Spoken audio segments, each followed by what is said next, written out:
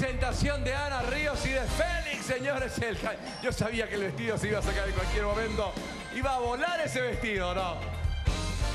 Qué linda presentación, qué bárbaro, ¿no? El vestido parece que se lo puso Oli, me estaba diciendo César por ahí, al vestido rojo. Qué